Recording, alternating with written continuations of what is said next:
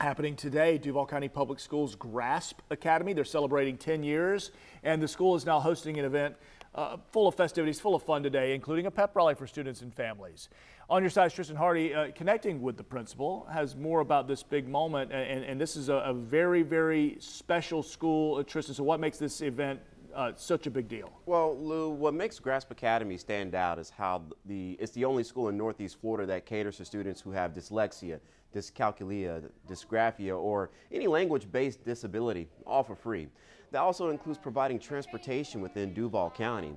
Grasp Academy has about 300 students and officials express their desire to expand its open enrollment. The school is also open to students outside of Duval County. Now, school officials say one in five students are dyslexic, and today's event is supposed to raise awareness and financial support for students who need special services.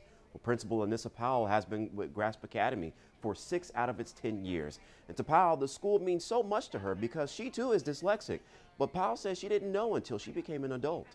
Not only on top of that, but then my daughter is dyslexic. So dyslexia is hereditary, it runs in families. Just seeing that and knowing what she went through in public schools and what I've gone through in public schools, to have an opportunity to, to change education and to allow our students to know that there is a way and tell my parents, listen, don't give up.